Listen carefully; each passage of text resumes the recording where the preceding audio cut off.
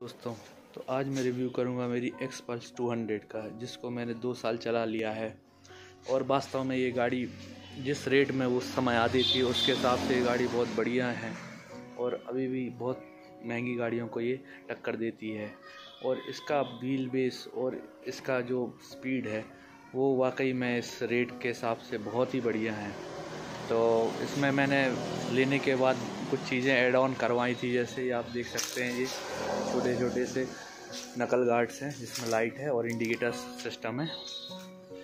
साथ में मैंने रोप लगवाई थी लेग गार्ड पे। और ये लेडीज़ के लिए छोटा सा फुट रेस्ट लगवाया था नीचे रोप गार्ड के साथ। तो इतनी सारी चीज़ें मैंने इंस्टॉल करवाई थी। और दो साल में आप बिलीव नहीं करेंगे, ये गाड़ी इतनी कंफर्टेबल है कि आप लॉन्ग रूट पे आपको ज़रा सी भी प्रॉब्लम नहीं होगी। हैं अपन इसका इंस्ट्रूमेंट क्लस्टर देखिए, इस प्रकार का है कुछ instrument cluster totally digital instrument cluster है, जिसमें आपको trip average time audio plus साथ में आपको गियर का भी तो मिलता है कि आप आपको किस गियर पे आपकी गाड़ी चल रही है। साथ में इसमें एडिशनल फीचर जो हीरो कंपनी ने दे रखा था, वो है इसका ब्लूटूथ सिस्टम और आपका इको मोड जिसमें आप गाड़ी का जैसे ही बढ़ाएँगे तो ये आपको दिखाने लगेगी कि आप कितना एवरेज इको मोड से ज़्यादा जा रही है और पावर मोड में आ गई है। तो ये सब चीज़ें थी इसमें।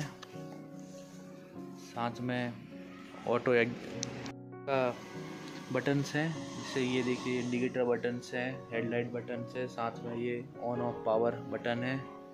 साथ में ये मैंने एक्स्ट्रा बटन इंस्टॉल कराई थी फिर साथ में अपने नकल गार्ड्स आए हैं उसके लिए। ये इसका डिस्क ब्रेक सिस्टम है, बहुत ही बढ़िया डिस्क ब्रेक सिस्टम है एबीएस के साथ है। बस इसमें इस गाड़ी में एक कमी है कि रियर में डिस्क के साथ एबीएस देना चाहिए था, जो मेरे को चलाने में कमी खलती है। कई कई बार गाड़ी स्टिट करती है ज़्यादा ब्रेक लगाने पे। बाकी ये फ़र्स्ट जनरेशन गाड़ी है हीरो एक्सपल्स 200 की। जब लॉन्च हुई थी, उसी टाइम मैंने इसको लिया था 2020 में मतलब जनवरी फैब में।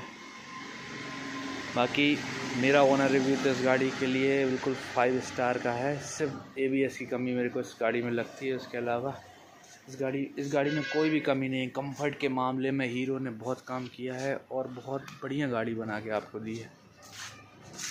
कंफर्टेबली भी है। आप इसमें स्पोर्ट बाइक का भी फील करेंगे एडवेंचर का भी फील करेंगे। मतलब जैसा आपको चलाना है इस गाड़ी में चला सकते हैं। थोड़ा सा ए वी एस का है प्रॉब्लम आकी आज तक मैंने कोई प्रॉब्लम नहीं इसमें फ़ेस की है इस गाड़ी में।